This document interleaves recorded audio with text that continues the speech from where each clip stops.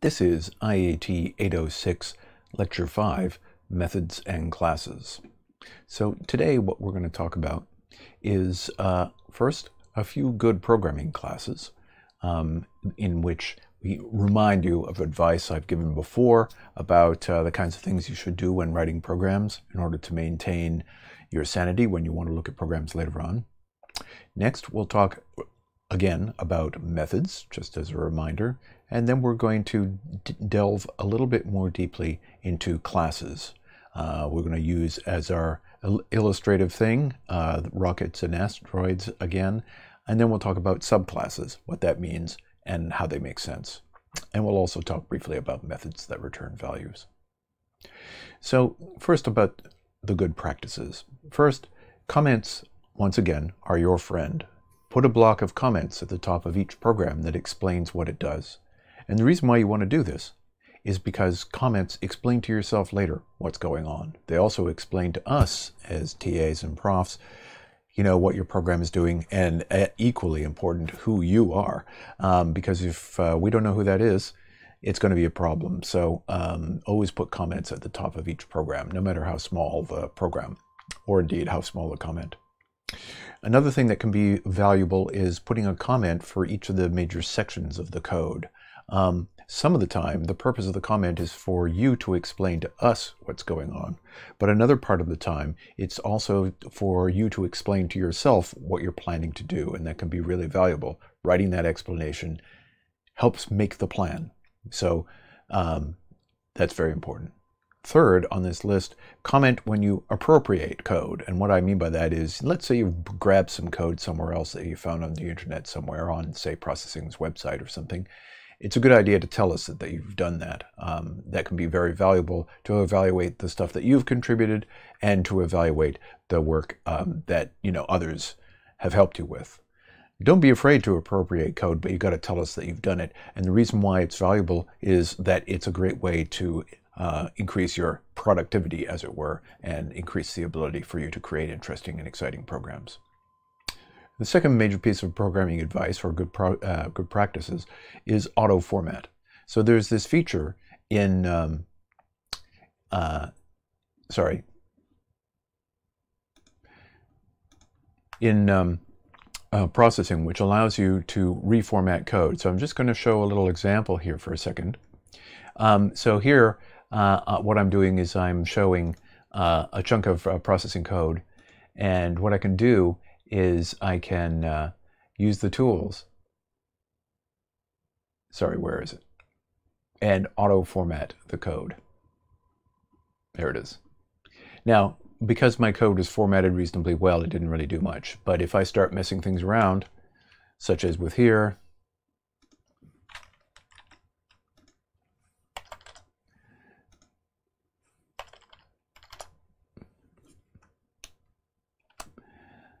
And once again, go here, Control T, I get neat code again. So um, auto format, what it does is it parses the code and follows a bunch of rules as to where to br put brace, braces, parentheses, and so on and so forth. And it can be really valuable if you've done a bunch of uh, written a bunch of code and kind of uh, not really paid attention to spacing. Hitting auto format helps put the spacing in the canonical spots, and that makes it easier to read the code later.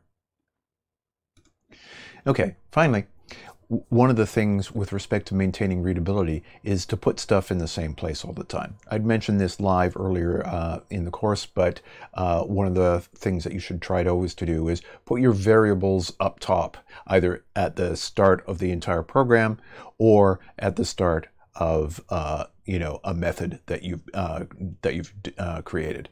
Um, so at the start start of setup, at the start of draw, uh, or at the top of the program overall. Um, we also, when we're defining classes, we tend to put the fields, the data, um, put the variables there. All right, so that's it for that kind of programming advice. Now let's move on to um, methods. So once again, methods are also known as functions. That is to say, those are methods that return something, so like sine and cosine return something, or procedures, methods that do things but don't return a value to the piece of code that called it. And here is a classic method definition, and this is, you know, some method I'm just making up out of thin air. Void vending machine, int coin sense. It takes the uh, a single parameter, and all it does is uh, what can be no, called a side effect. It uh, print does, uh, does print line. You inserted coin sense cents, something very simple. And the method call is equally simple here. So we uh, create an integer variable named quarter, assign its value 25. We uh, call vending machine quarter, and what that does, it will print you inserted coin sense cents um, uh, on the on the debug in the black debug area. So once again, the way in which uh, the declarations work is uh, the return type of the method is goes first. If you are not returning anything or not planning to have the method return any, anything, you need to say void there. Then the name of the method uh, with an open parenthesis and any parameters that you wish to declare.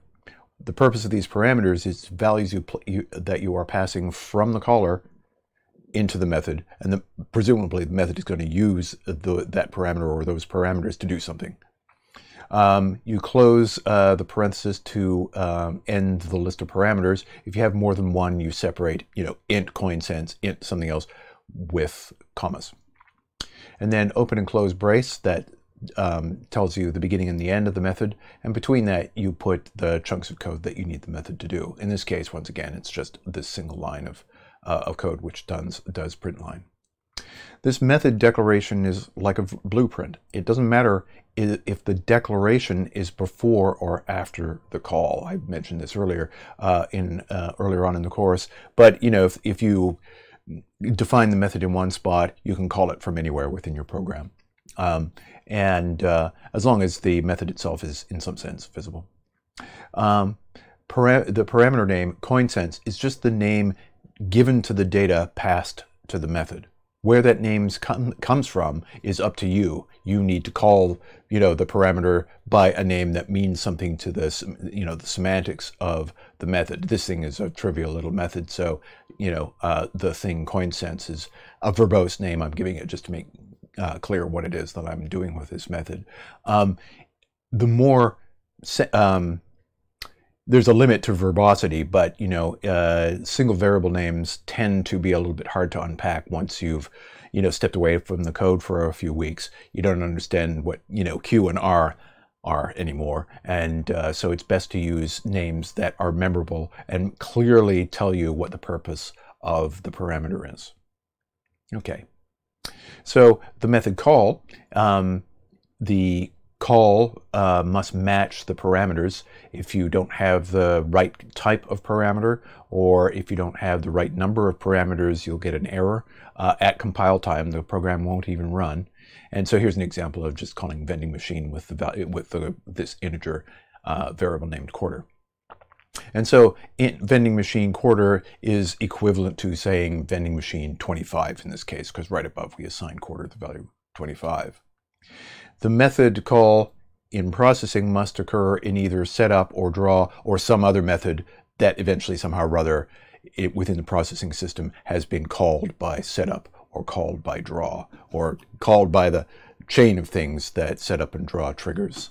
Um, uh, in Java programs, you know, a method needs to be called by something that uh, somehow or other is uh, ultimately triggered by what's called public static void main, main being the name of the, the, the starting place for Java programs. You can call this method as many times as you like, you know, uh, and, you know, there's no limit um, other than, you know, your patience at seeing, you know, CoinSense coming up all the time. So the next major chunk that we talked about and introduced in the previous lecture is classes. So recall, let's uh, just spend a little a bit of time talking about types before we moved on to uh, classes in, in particular. So recall that we uh, mentioned a number of primitive types, int, float, char, or for characters, uh, boolean, and a few others.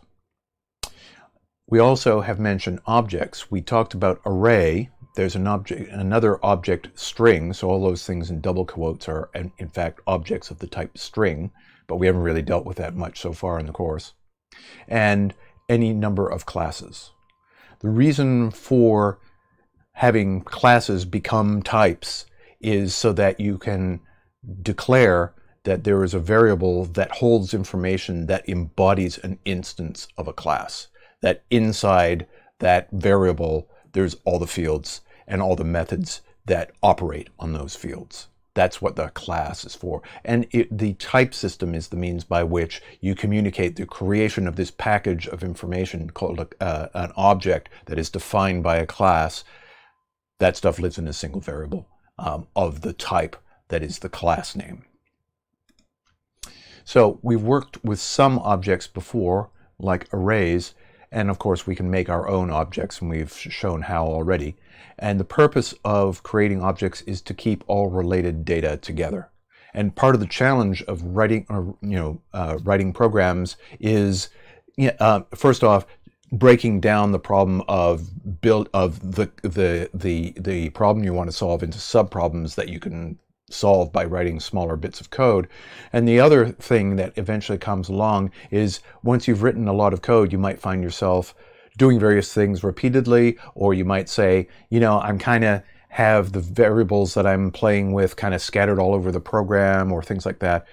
And that is the purpose of a class or a number of classes perhaps um, to hold um, subparts of the program's logic together and for you to keep that all in one spot. The reason why you want to have all that stuff in one spot is to essentially for the purposes of one-stop shopping for all the knowledge that you need about, say, a rocket, in our rockets and asteroids case, or all the knowledge you need about a vending machine, uh, in this not filled out example I've kind of um, suggested, or all the information you might need about an asteroid in the rocket and asteroids thing once again. Keep all that related data with methods to control that data. The advantage of doing so is if there's only one place to go to look for that information, that means uh, that you can enforce that nobody, no other piece of code somewhere can reach inside that suite of classes and mess things up. And it's usually the case that messing things up isn't a matter of maliciousness. It's just people don't know what you're trying to do with your class. And they, you know, they're well-meaning and they mess, you know, folks would in particularly in procedural programming languages, they just forget that there was some kind of rule uh, about how this, these variables are to be treated. They wrote some code to play with the data. It messed things up. What's worse is that sometimes it messed things up and nobody detected that it messed things up. Object-oriented programming is uh, built with the idea of taking steps towards preventing accidental screw-ups. It's not an absolute prevention, but it gets, gets closer than the procedural programming style.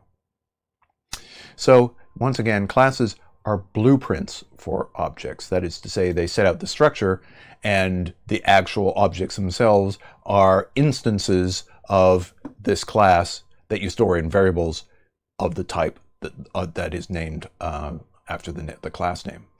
So to declare a new class, a new type of object, we do something like this. Here we're just showing the declaration without any details at all. Class my toy, so that's a name I've created just to be something, and there's some fields in it, and there's some methods in it. There ought to be some constructors in it too, but I haven't, you know, this is just a, a trivial example just for the purposes of reminding you of the structure.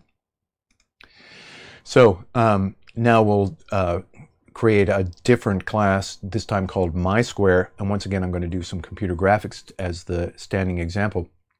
So class MySquare, I've shown it to you briefly already, uh, has two fields namely xpos and ypos, and has a single constructor. Uh, this constructor is not yet complete because I haven't said the types here of x and y, but just for brevity to, um, you know, have the slide layout uh, be friendly, uh, I've just uh, suppressed those. I'll show uh, in processing uh, the real declaration in a sec. Um, so uh, in, in, essence, what uh, the constructor does is just takes these incoming variables and assigns them to xpos and ypos. So every time you create a MySquare, there's only one way to do it, and that is to assign its position. And there's one method. It's called drawme, um, and it just simply does, you know, a rect call uh, at ypos and sets the size to be the standing uh, fixed size 50-50. Let's now go to um, the chunk of processing, and we can see that uh, has happened here. Here's class my square, once again, right? Uh, into ypos, And there's the constructor where I've said uh, what the constructor parameter types are instead of just x and y as in the slides. Same assignment of uh, the fields to the initial uh, from the initial values given by the constructor and this thing single draw me. So um, going back to the slides for a second, um, what we can do with uh, this class is now construct instances. So we have two just code sort of out in the middle of nowhere. Square my square uh, my square square one uh, equals new my square 1010, and my square square two equals new my square 2090. So there's a couple of my squares that we've constructed. Let me show you the code.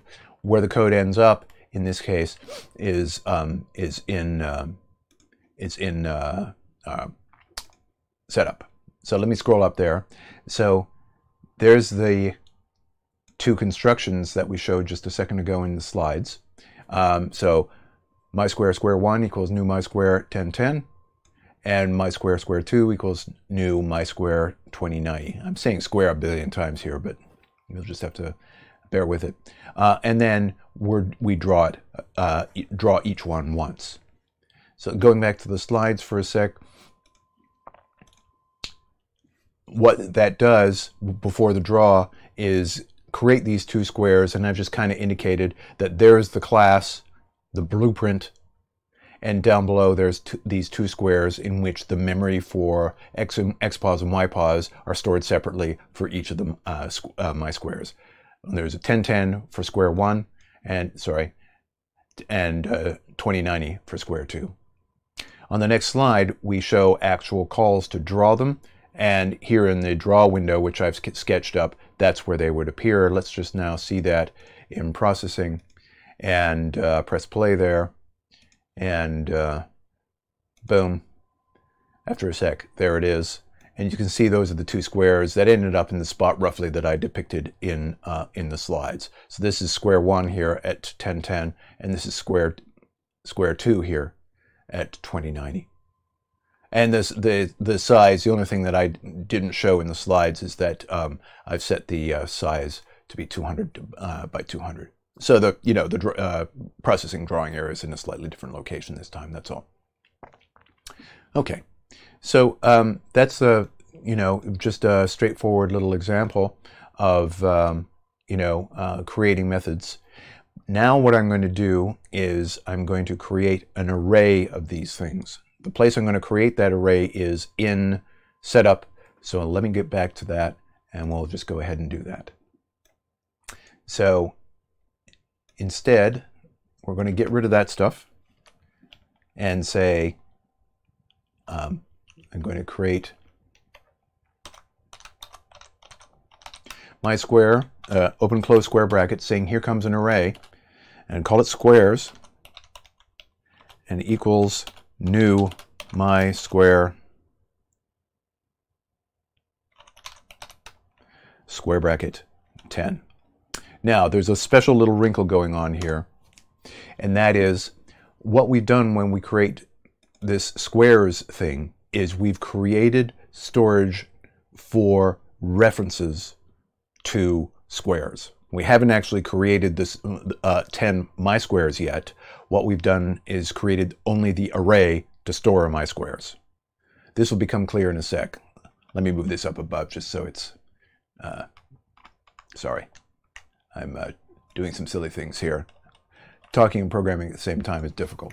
Just one second. There, there we go. Stick the size back in there. And now what I'm going to do is I'm going to have to do the second part that you have to do when you're constructing, say, arrays of objects. First, you construct the array, and then you construct the, each of the individual objects. So let's do that right now. Put the comment in, and then uh, our usual integer variable i and I'm saying 10, I'm use, I know the value is 10, so I'm not using a constant anywhere. You know, I didn't say final size equals 10 anywhere. So I'm just putting open and close bra uh, braces around the for loop, and what I'm going to do is then initialize each one.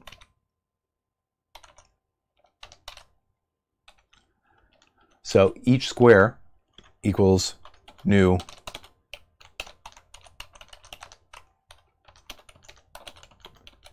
sorry. I've actually screwed this up. It should be i times 10. And one more. There we go. So that's the code from, uh, from the slide. And now what I'm going to do is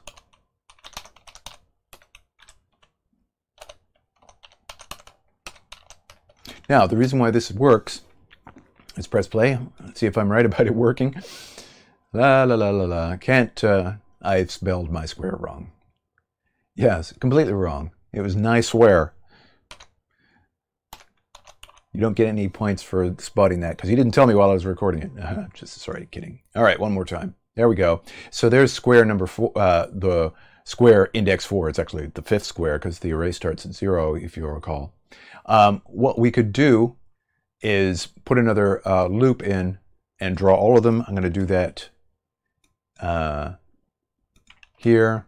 Get rid of that.